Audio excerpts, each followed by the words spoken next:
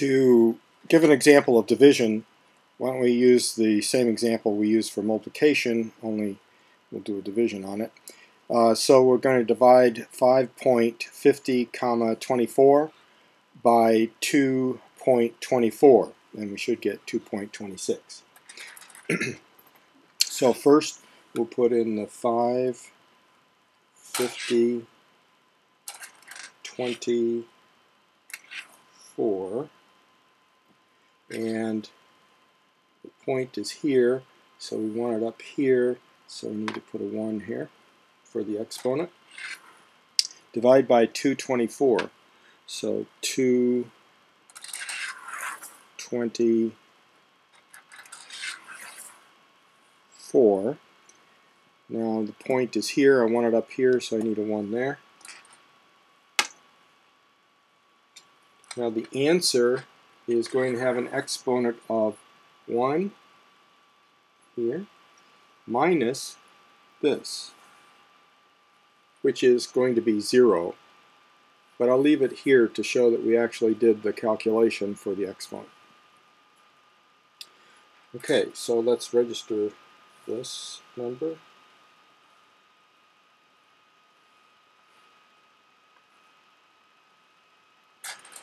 Okay, now we're going to need um, to subtract uh, this number from this, and it should look like this. And in order to copy it there, we need the negative 1 here. Okay. Um, but we might see that uh, this is actually 6 and this is only 2, so I could certainly double this. And if I double 2, I get 4. If I double 20, I get 40. If I double this, I get 10. If I double this, I get 2. Okay. Um, so let's go ahead and do that.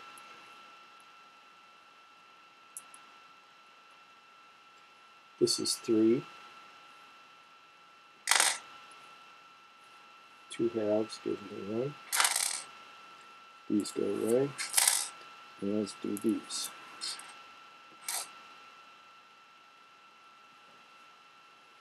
Well, I still have uh, positive on this line, but it's, it's going to be like half of this. So let's make believe we're going to subtract another one of these.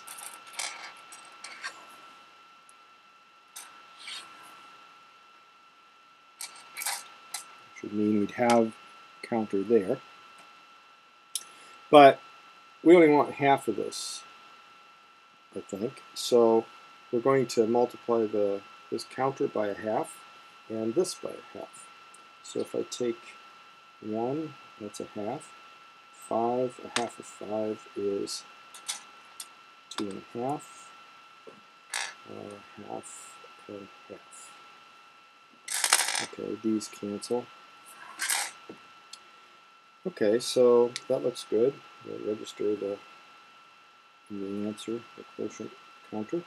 Um, these cancel, as do these.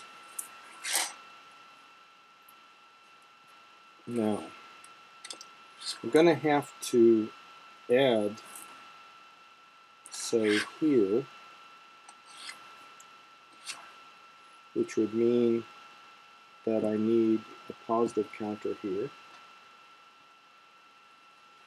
But this probably isn't enough, so we could certainly double this.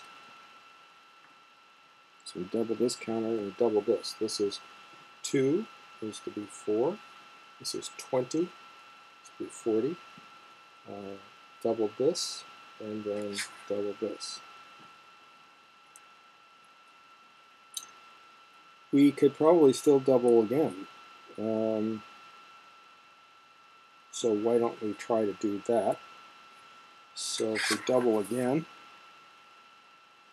then this would double to go here. This would double. this would double. This is uh, 20. We want 40. This would double. This is 2. We want 4. Okay. These two go away. Okay, that looks pretty good. So let's um, fix this. This is 4, which is minus 1 plus 5. And these two cancel. These two cancel. Uh, this is 3. And these two can be promoted. This goes away, and this goes away.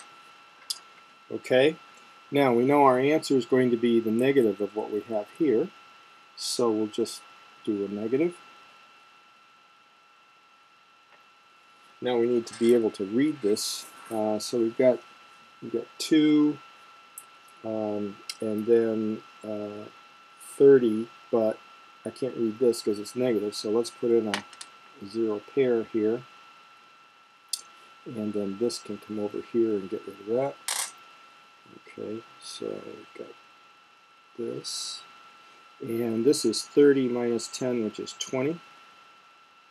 And this is 2. So we've got 2.26. 2.26.